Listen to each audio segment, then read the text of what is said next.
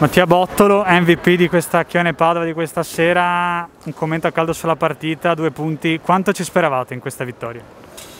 La partita l'avete vista, e vincere a Trento si conta sulle dita delle mani penso.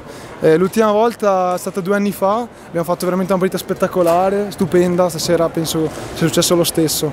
Abbiamo approcciato la partita con molta serenità, consapevoli dei nostri mezzi ma consapevoli anche della forza di Trento, abbiamo saputo soffrire nei momenti in cui loro giocavano veramente bene e abbiamo saputo star lì lì nei, nei set che abbiamo vinto. Questo, questo ci dà merito, ci dà merito e ci dà tanta forza per il lavoro in palestra e per le prossime partite. Credo sia stato importante anche per voi soprattutto il fatto di non mollare, il primo set poteva eh, insomma, presagire una, una, disfatta, cosa che in realtà non è stata. Due set vinti con la voglia, con l'unghia e con i denti allo scadere, un quarto, un quarto eh, subito la rimonta di, di, Trento, per poi chiudere al, al tie break in un modo emozionantissimo. Quindi co cosa, cosa vi portate a casa, soprattutto dal punto di vista dell'entusiasmo?